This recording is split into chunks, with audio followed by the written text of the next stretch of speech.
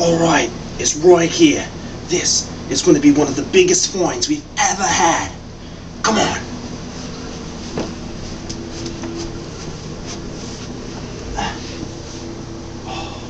Wow. This is better than I even imagined. Oh, look at this. These two right here are the males. And right now it looks like they're jockeying for position. When this laborious battle is over, one of these two will be the alpha male of this colony. Oh, this looks like it could be the biggest find in dustmatology, probably of all time. And you got to see it right here first. Well, thank you for watching. I'll see you next week.